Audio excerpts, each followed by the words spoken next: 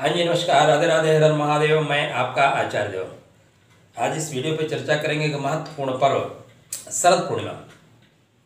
शरद पूर्णिमा 2021 में मंगलवार को 19 तारीख को मनाई जाएगी। शरद पूर्णिमा को कोजागरी पूर्णिमा, कौमदी पूर्णिमा और कुमार पूर्णिमा के नाम से जाना जाता है। शरद पूर्णिमा के दिन धरती के बहुत सन्निकट होता है चंद्र, इसलिए ज़्यादा चमकीला दिखाई देता है।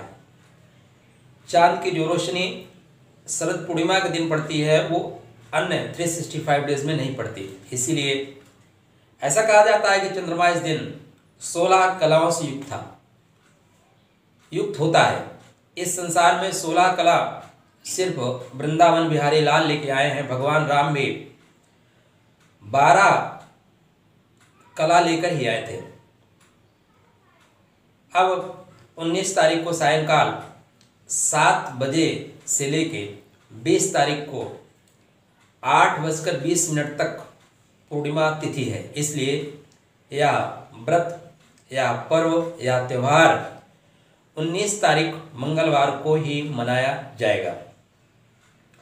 इसके महत्व की बात करें तो चूँकि चाँद धरती के सबसे सन्निकट होता है, नज़दीक होता है, इसलिए बहुत मनोरम दिखाई देता है, चमकीला दिखाई देता है, और कहा जाता है कि इस दिन अमृत वर्षा करता है।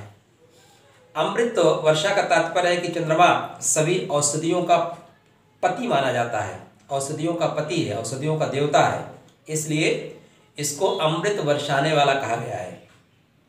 दूसरा, इसी दिन समुद्र मंथन के पश्चात माँ लक्ष्मी का आविर्भाव, माने ये शरद पूर्णिमा लक्ष्मी जी का जन्मोत्सव है, ऐसा आप कह सकते हैं।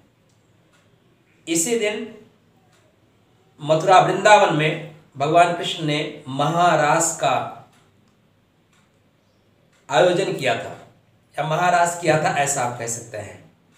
तो चंद्रमा सोलह कलाओं से युक्त होता है। सोलह कला आध्यात्मिक और शारीरिक दोनों रूपों से युक्त होकर असाध्य रोगों को दूर करने की जो विधि है, वो सोलह कलाओं की विधि है। सोलह कलाएँ जो है, वो जीवन में आपको निरंतर हर जगह उन्नति प्रदान करने वाली हैं।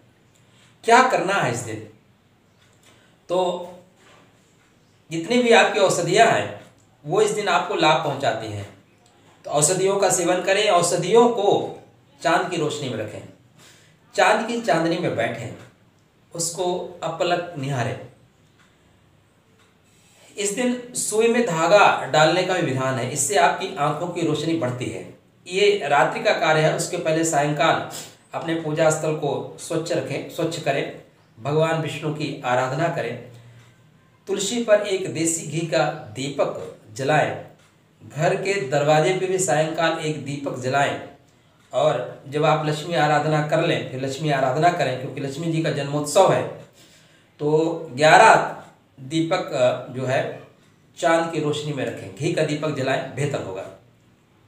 प्रार्थना करें, संभव है तो स्त्री यंत्र की स्थापना करें, कनकधारा या स्त्री सूक्त का पाठ करें, और जो आपने खीर बनाई है, वो खीर चाँद की रोशनी में रखें। उसके पश्चात दूसरे दिन उस खीर का भगवान को, माने माता रानी को भोग लगाएँ। भोग लगाने के पश्चात स्वतः ग्रहण करें। ऐसी मान्यता है कि जो खीर होती है, खीर चंद्रमा की रश्मियों से अमृत का, अमृत को अवशोषित करती है, अमृत को खींच लेती है।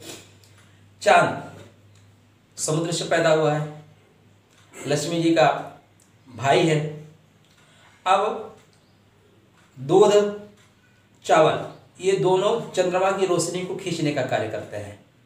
तो इस वजह से ऐसा मान, ऐसी मान्यता है कि इस दिन अगर आप खीर बना के, चाँद की रोशनी में रखते हैं तो उस रोशनी से अमृत की, अमृत के कण आपकी खीर में आ जाते हैं, जिनको खाने से आप एक वर्ष तक रोगों से दूर रहते हैं।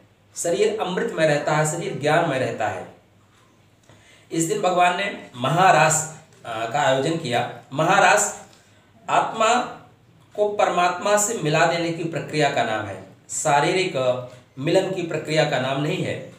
और कथा ये कहती है कि भगवान कृष्ण ने उस दिन एक रात को ब्रह्मा जी की रात, मनुष्य की एक रात को ब्रह्मा जी की एक रात बना दिया था। मतलब हमारे करोड़ों रातों का जो समय है, वो एक रात में आया था। इसलिए ये शरद पूर्णिमा है इसको एक नाम कहते हैं कोजागरी पूर्णिमा। कथा ये कहती है कि इस दिन माँ लक्ष्मी अपने वाहन उल्लू पे सवार होकर घूमती हैं संसार में और पूछती हैं कोजागरी कौन जाग रहा है? कौन जाग रहा है? और उड़ीसा में इसको आ, कुमार पूर्णिमा के नाम से जाना जाता है। ज़्यादातर कन्याएँ इस दिन व्रत रखती हैं सुयोग्य वर प्राप्ति के लिए। तो लड़के भी व्रत रख सकते हैं सुयोग्य कन्या की प्राप्ति के लिए। शास्त्रकारों की बात माने तो इस दिन संतान प्राप्ति के लिए भी व्रत रखा जाता है। मान इस, इसका व्रत संतान की संतान को दीर्घ जीवी बनाने के लिए संतान प्राप्त करने के लिए भी इस दिन आयोजन किया जाता है। देखिए इस दिन लक्ष्मी जी का जन्म हुआ। इसके पश्चात अब आने वाला है लक्ष्मी पूजन दीपावली।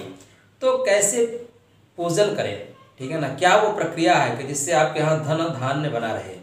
तो शरद पूर्णिमा, कोजागरी पूर्णिमा, कौमदी पूर्णिमा और कौमार पूर्णिमा के नाम से जाने जाना वाला है पर्व बहुत महत्वपूर्ण है।